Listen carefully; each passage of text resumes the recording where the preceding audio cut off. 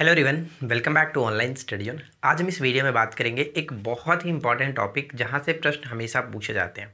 तो इस टॉपिक को अच्छे तरीके से ध्यान से याद रखेंगे क्योंकि यहाँ से आपको हर सेट में एक प्रश्न देखने को मिलता ही रहता है और सभी एग्ज़ाम्स के लिए भी इंपॉर्टेंट है।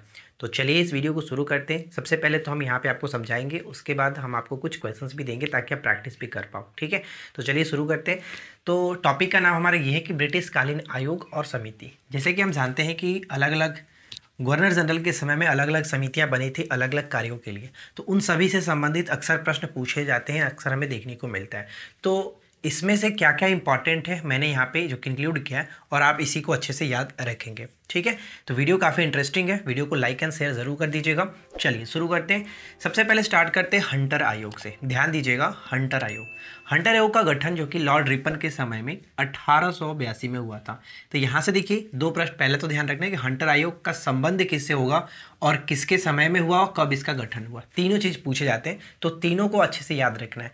क्योंकि यहाँ पे जो भी लिखा गया, जैसे अगर किसी भी समिति के बारे में पूछा जाए तो उसका संबंधित जो वर्ष है, किस वर्ष गठन किया गया था वो भी याद रखना है और किस गवर्नर जनरल के समय में गठन हुआ था वो भी याद रखना है। तो सबसे पहले मैंने यहाँ पे बताया आपको कि हंटर आयोग। तो हंटर आयोग का गठन हुआ था अठारह सौ बयासी में। अठारह सौ बयासी लॉर्ड रिपन का समय था और लॉर्ड रिपन के बारे में हम तो बहुत सारी चीज़ें जानते हैं जिनसे इन्होंने प्रथम कारखाना अधिनियम अठारह सौ इक्यासी में दिया। इनके समय से नियमित जनगणना होना स्टार्ट हो गया अठारह सौ इक्यासी से और साथ ही साथ इनको स्थानीय स्वशासन का जनक भी माना जाता। ठीक है?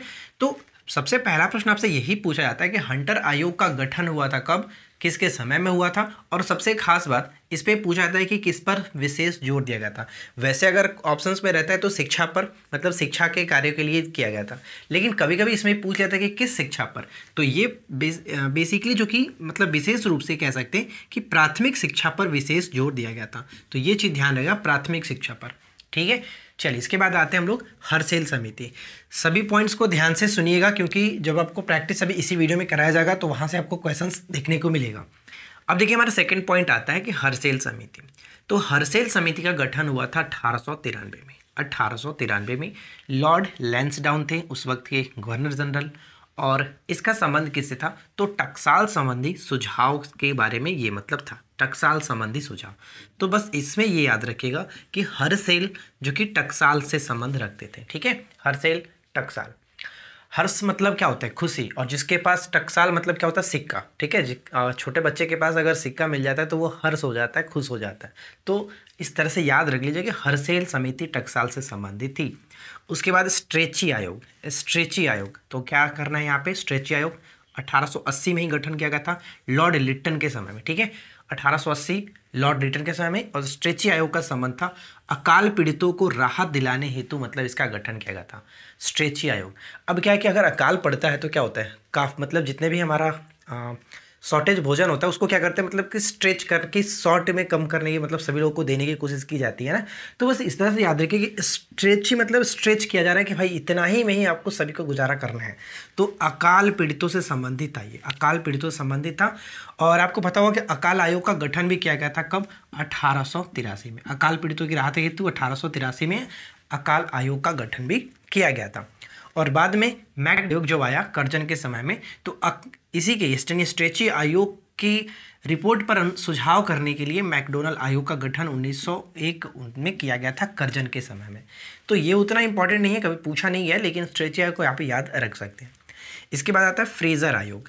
तो फ्रेज़र आयोग, देखिए फ्रेज़र आयोग का संबंध था लॉर्ड कर्जन के समय में इसका गठन 1902 में हुआ और इसका संबंध था पुलिस प्रशासन की कार्य पद्धति की जाँच के लिए।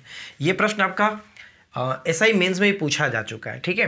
तो ये ध्यान रखिएगा कि फ्रेजर आयोग का संबंध किससे है? पुलिस प्रशासन की कार्य पद्धति की जाँच के लिए गठन इसका किया गया था अठारह सौ, सॉरी 1902 में लॉर्ड कर्जन के समय में। ये इंपॉर्टेंट है, एकदम वी है इसको याद रखेंगे। इसके बाद आता है, रैले आयोग। जो कि 1902 में गठन हुआ, फिर से लॉर्ड कर्जन के समय में रैली आयोग, विश्वविद्यालय से संबंधित कार्यों हेतु इसका गठन किया गया था। यानी इसका संबंध भी शिक्षा से ही था। रैले आयोग का संबंध विश्वविद्यालय से संबंधित कार्यों हेतु 1902 में। इसके बाद एक इंपॉर्टेंट आता है, एकदम वी वी आई है ये कि सैंडलर आयोग सैंडलर आयोग 1917 में इसका गठन किया गया। लॉर्ड चेम्सफुड के समय में कलकत्ता विश्वविद्यालय की कार्य प्रणाली और दोषों की जाँच हेतु इसका गठन किया गया था सैंडलर आयोग। ठीक है? देखिए, सैंडलर आयोग पूछा जाता है, हंटर आयोग, हर्सेल समिति हो गया, फ्रेजर पूछा जाता है, उसके बाद हम उधर देखेंगे। तो इधर जो भी मैं आपकी बताया गया, आप इनको अच्छे से याद रखेंगे। ठीक है फ्रेंड्स? चलिए, इसके बाद आते हैं यहाँ पे शाही आयोग या फिर ली आयोग। शाही आयोग या फिर ली आयोग, जो कि इसका गठन तेईस चौबीस में लॉर्ड रीडिंग के समय में हुआ था। और इसका संबंध किससे था? तो लोक सेवा आयोग की गठन की अनुशंसा लोक सेवा आयोग की गठन की अनुशंसा किस समिति की सिफारिश पर? तो ली आयोग, ये पूछा गया है कई बार। तो लोक सेवा आयोग, ये ध्यान रखेंगे। उसके बाद आता है हमारा सेंड हर्ट्स। ठीक है, सेंड हर्ट्स जो कि 1925 में लॉर्ड रीडिंग के समय में हुआ था। ये याद रखेंगे लॉर्ड रीडिंग के समय में सैंड हर्ट और 1925 के संबंध में भारतीय सेना का भारतीकरण करने संबंधी, भारतीय सेना का भारतीकरण करने संबंधी ये जो कि गठन किया गया था। उसके बाद आता है आपका बटलर आयोग। बटलर आयोग 1917 सॉरी 1927 बटलर आयोग 1927 लॉर्ड रीडिंग के समय में। बटलर आयोग 1927 लॉर्ड रीडिंग के समय में देसी राज्यों और अंग्रेज़ी सर, अंग्रेज़ों सरकार के संबंध पर विचार करने हेतु।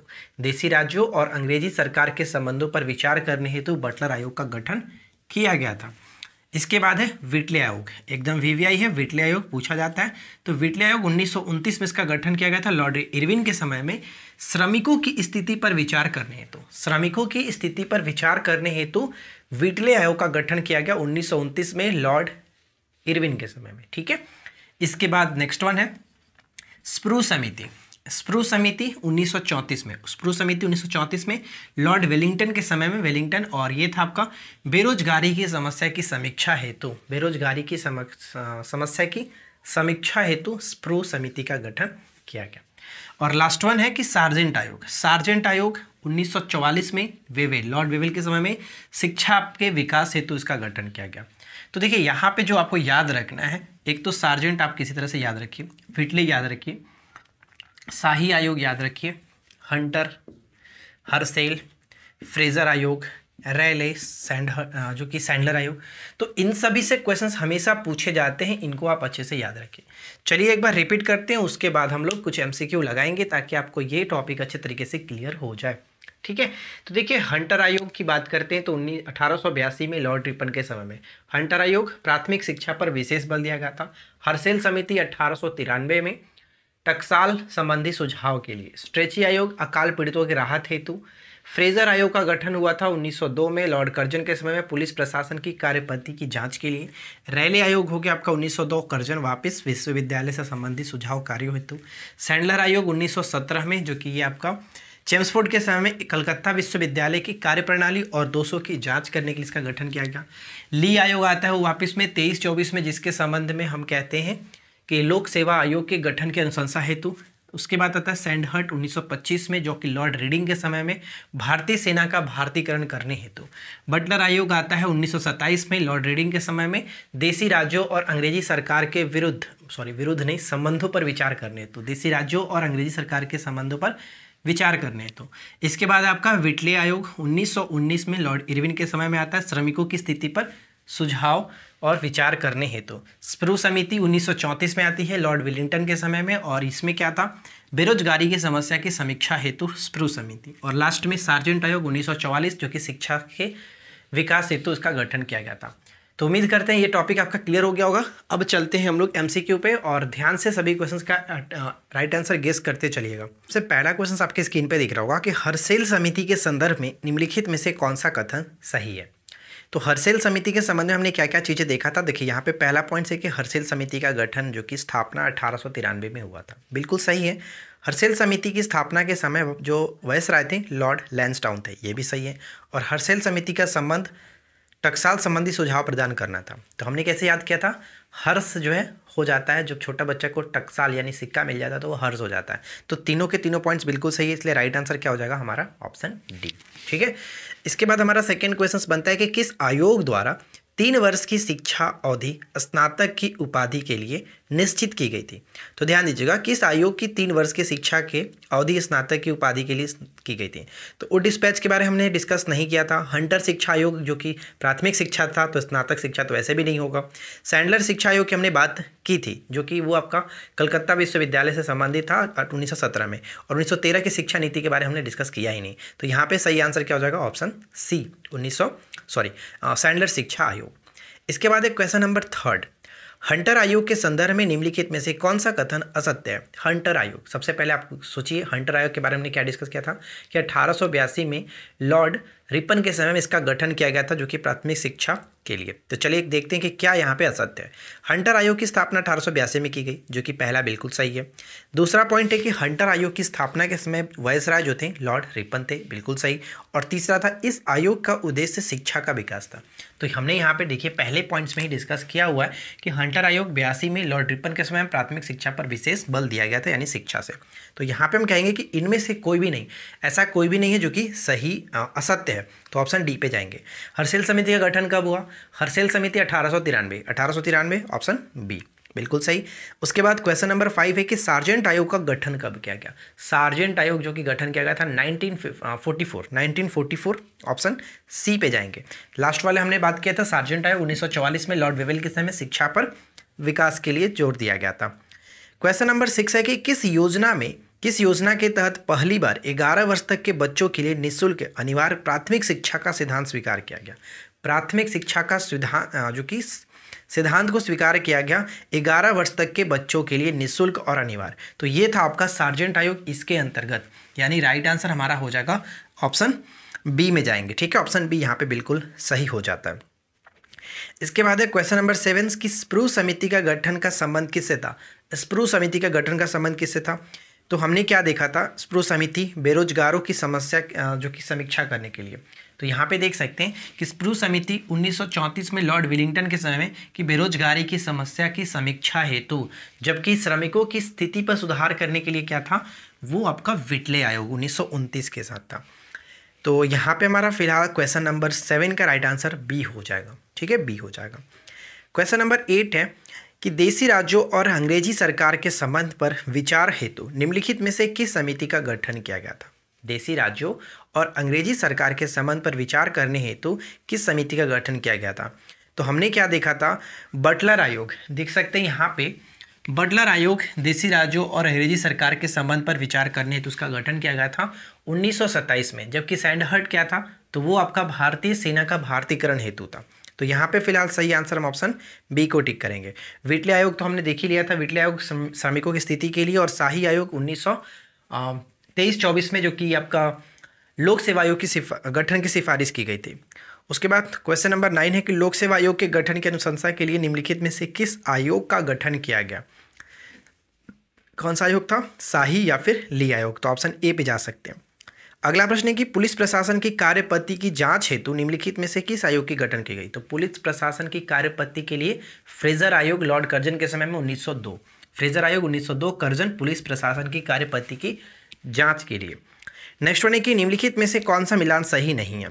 तो देखिए, विटले आयोग श्रमिकों की स्थिति पर विचार हेतु। बिल्कुल सही है। बटलर आयोग देशी राज्यों पर और अंग्रेज़ी सरकार के विरुद्ध बार बार मैं विरुद्ध कह रहा हूँ देशी राज्यों और अंग्रेज़ी सरकार के बीच संबंधों पर विचार करने के लिए ली आयोग का गठन लोक सेवा आयोग के गठन के अनुशंसा और सैंड हर्ट समिति जो कि शिक्षा के विकास है तो ये गलत है क्योंकि सैंड हर्ट समिति हमने भारतीय सेना का भारतीयकरण से संबंधित देखा था 1925 में लॉर्ड रेटिंग के समय में। सार्जेंट आयोग का संबंध था विकास शिक्षा के विकास है तो, तो यहाँ पे ये गलत है। क्वेश्चन नंबर ट्वेल्व है कि निम्नलिखित में से कौन सा मिलान सही नहीं है? तो देखिए वेटले आयोग उन्नीस सौ उनतीस दिया गया। बिल्कुल सही है। बटलर आयोग बटलर समिति उन्नीस ये भी सही है। सार्जेंट आयोग 1917 सार्जेंट नहीं, सैंडलर आयोग 1917 था, सार्जेंट 1944 था, इसलिए यहाँ पे सी को टिक करेंगे। हर्षेल समिति अठारह सौ तिरानवे, सही है। लास्ट क्वेश्चन से कि प्राथमिक शिक्षा पर विशेष बल देने के लिए निम्नलिखित में से किस आयोग का गठन किया गया? इस प्रश्न का राइट आंसर जल्दी से कमेंट करके बताइएगा। ठीक है? तो फ्रेंड्स देखिए, उम्मीद करते हैं कि आप लोगों को आज का ये सेशन अच्छा लगा होगा। वीडियो पसंद आया हो तो वीडियो को ज़्यादा से ज़्यादा लाइक करिए अपने फ्रेंड के साथ शेयर पहली बार है तो सब्सक्राइब करके नोटिफिकेशन बेल आइकन को ऑल पे सेट कर लीजिएगा। हम मिलते हैं आपके साथ इसी प्रकार के नेक्स्ट वीडियो में किसी नए टॉपिक के साथ। Thanks for watching keep watching keep learning have a good day